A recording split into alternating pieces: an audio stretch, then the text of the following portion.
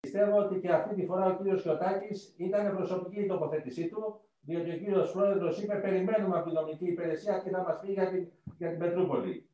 Βλέπουμε ότι διευρύνεται δηλαδή το πόνους προκειμένου να μην υπάρχουν οι αντιδράσεις.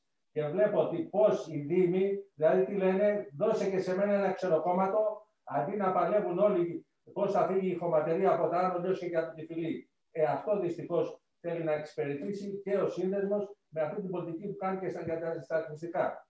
Εντάξει, αντί να συζητάμε τώρα πώ θα φύγει η χωματερή, συζητάμε πώς να μοιράσουμε τα 40 εκατομμύρια. Τροπή είναι.